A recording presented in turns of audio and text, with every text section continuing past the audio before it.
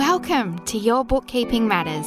I'm Lisa Turner, bringing you short and snackable weekly episodes on bookkeeping and business matters in an easy to understand way so you can be in control and confident that you know your bookkeeping matters. Let's dive into this week's episode. Hello, hello, wonderful listener, and thank you for joining me once again.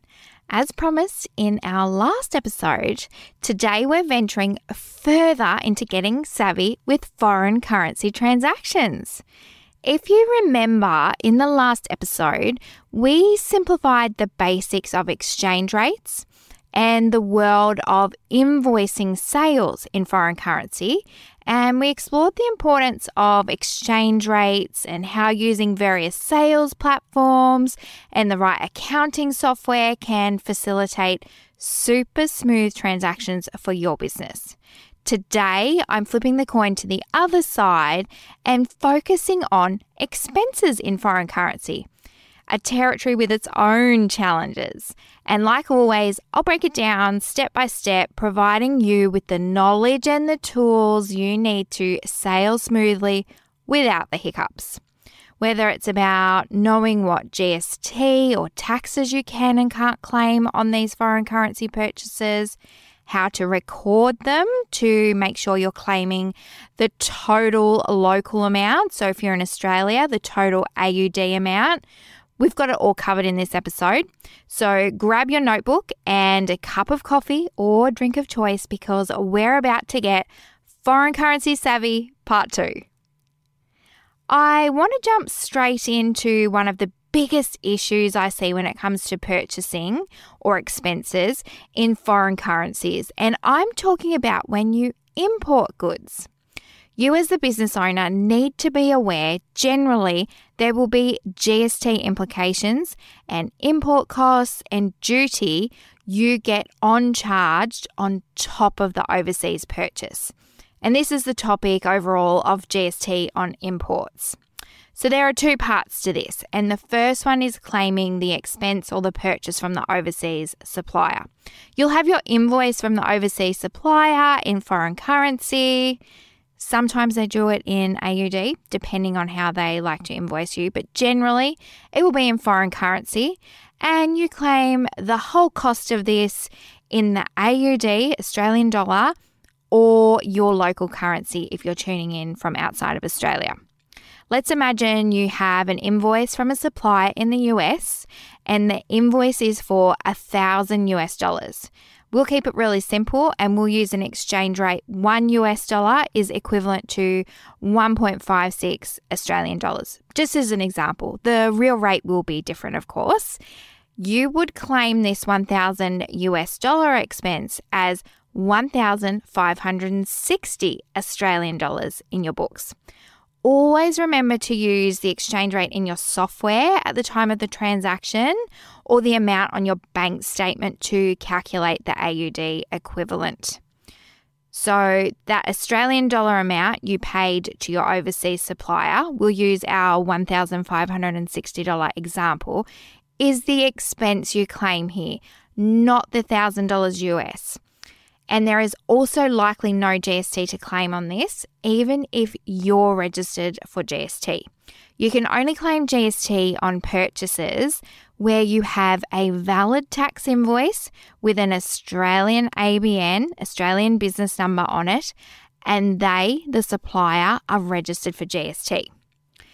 Now, if you're using accounting software with the foreign currency option turned on, it will do its thing. And when you match the payment to the invoice in the different currency, all is good and the perfect amount of the expense will be claimed. So you've done part one. You've claimed the full expense in AUD of what you've paid the supplier. And I see too often business owners are doing the books manually without bank feeds and on a spreadsheet, and they type in the foreign currency amount, the 1000 US, not the AUD equivalent, meaning they've either claimed way too much or way too little. Now, the second part, and this is where it gets sticky, So if you feel like this is too technical and you want to make sure someone checks it over for you, it's important you flag this one with your trusty professional bookkeeper or accountant. The freight forwarder, the company who grabs your goods as they arrive into the country, will invoice you separately for any local taxes and duty and there is generally a large portion of GST on this you need to claim if you're registered for GST. If you're not, it simply forms part of your cost of goods. But what most people, a lot of bookkeepers included, get wrong here is they only claim 10%, which is our GST rate here in Australia, of the invoice, meaning you could be missing out on potentially thousands of dollars of GST to claim back on your BAS, your business activity statement. So if you don't get this, keep the invoices in a separate folder on Dropbox or wherever you store them for your BAS or tax agent so they can run through them with a fine tooth comb and check it over for you. If you're working with us in a one on one capacity and we take care of your numbers here at My Practice Accounted for You, you know why we ask you for this duty form on your overseas purchases. It's not to be painful and annoying, it's to keep your numbers squeaky clean and claim all the GST. I see far too often people missing out on GST credits because they don't understand this GST on imports. Okay, the next thing I want to flag with you on foreign currency or overseas purchases, let's talk tax invoices.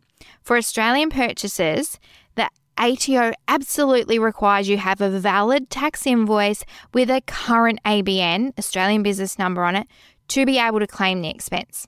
Head back to a super early episode of the show. Do your tax invoices say the right things? You'll get all the details there what a tax invoice is. But what on earth do you need to get from your overseas supplier who barely responds to your emails and ignores you when you ask for a tax invoice? They're probably ignoring you because they likely don't know what a tax invoice is. What you actually need from them is pretty similar, but you probably already have all you need. You have to have a record to prove it. So the record can be your order confirmation from them, their invoice, their receipt. There's no technical name or requirement for overseas purchases. What you need is the same for a purchase here in Australia. It must be related to earning your income, and the record needs to have important details like who you bought it from, their address to some extent to show it wasn't purchased in Australia, how much you paid and when, and what you bought. It can be in any currency, it doesn't need to be an invoice in Australian dollars. Now, once you have your invoice or receipt, and it, like I said, it can be as simple as the order acknowledgement, the email they've sent you that details all the purchases. You then need to remember to convert it with those exchange rates we've talked about and claim your local currency, AUD, for those of us here in Australia. But again, we want the simplest way to do this. What did you pay in AUD from your bank account? That's your amount to claim because it's what your bank charged you using their exchange rates. You get to claim your exact cost as the expense. And also, if you're using accounting software, again, it takes care of this for you. The important thing to remember is to keep it simple and accurate. Don't get all technical trying to look up rates and exchange things yourself. It's literally the AUD, the Australian dollar you paid from your bank account, is your expense that you're able to claim. Bringing us back to the basics of recording your expenses always remember to record and claim them in AUD or your local currency. And the simplest way to do this is using accounting software.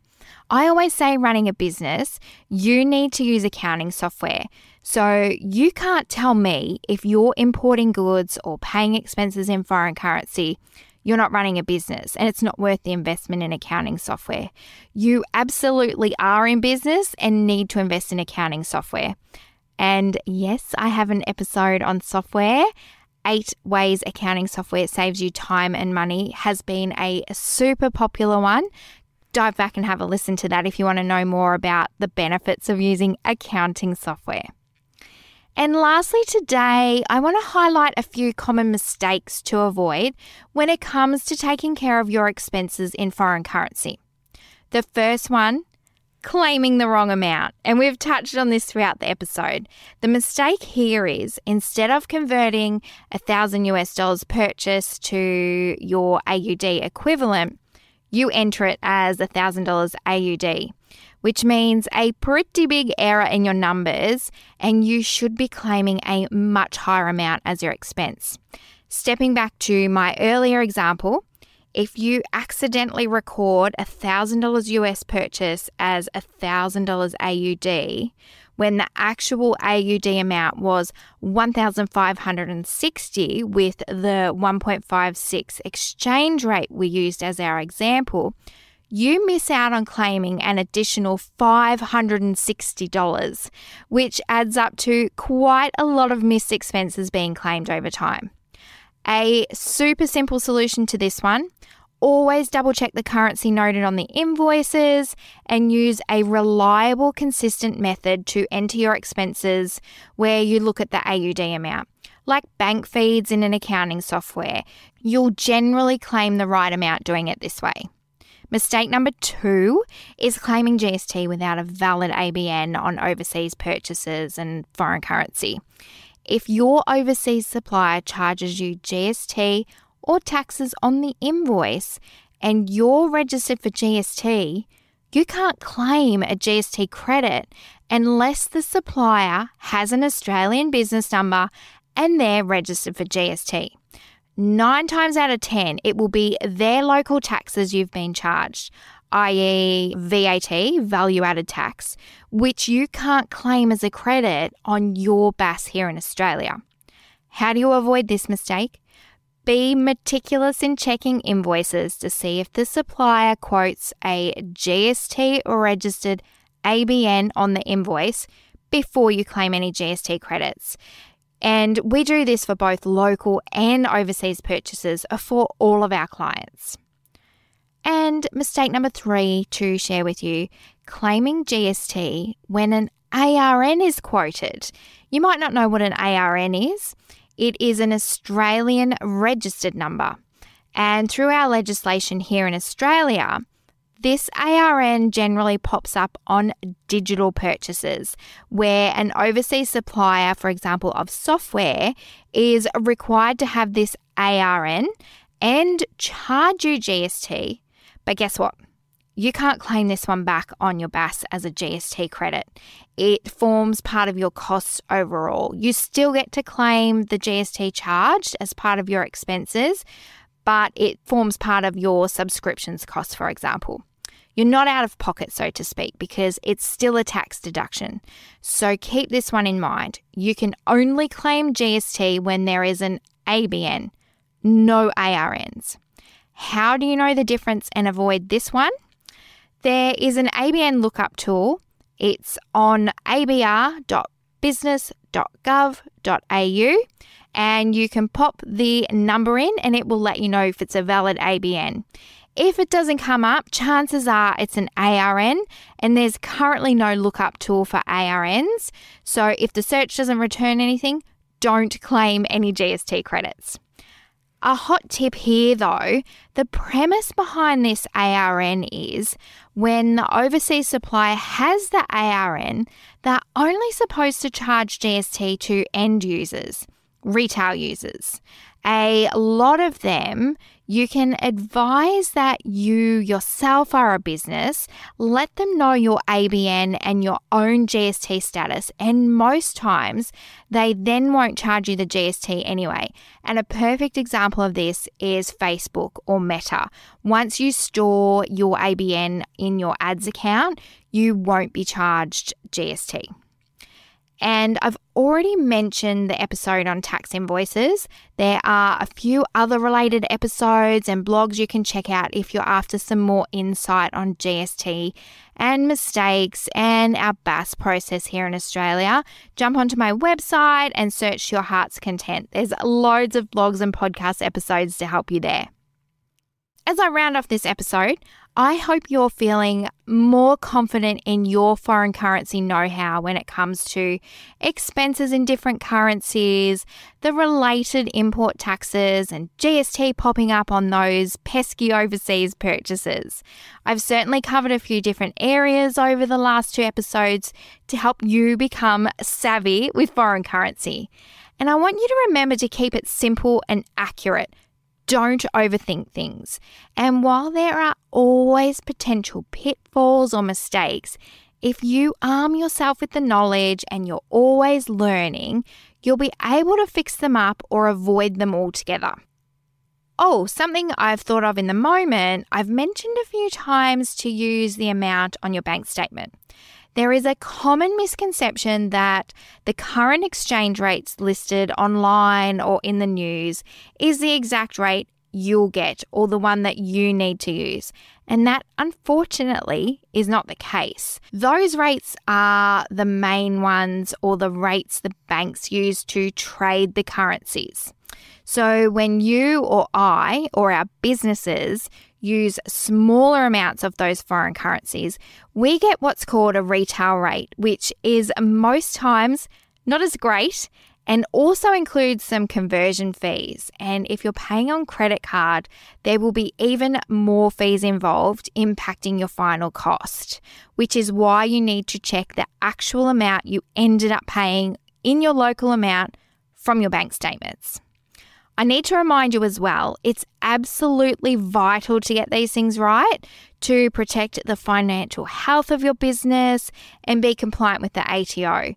And I didn't know attitude won't get you out of hot water should the ATO come knocking or want to trawl through what expenses and GST you've claimed on all these purchases. So consult with a professional to get the support and advice you need Always surround yourself with the right people in areas which aren't your strength or expertise without stressing yourself with the attitude, I need to know it all right now. Don't put unnecessary pressure on yourself. Small business is one place where you'll always be learning. You can't know all the things all at once, and everything is constantly changing. So long as you are always trying to learn and keep up with these things, and like I said, surrounding yourself with the right people in these areas. Keep those numbers clean and accurate and thank you again for joining me this week. I hope you've enjoyed this episode of the two part series on getting foreign currency savvy. If this episode has empowered your business journey, please take a moment to leave a review. Your feedback not only helps me tailor the content to be exactly what you want to hear, but also supports other business owners like you find the guidance they need. And please feel free to reach out with any requests or questions, and I will catch you next week.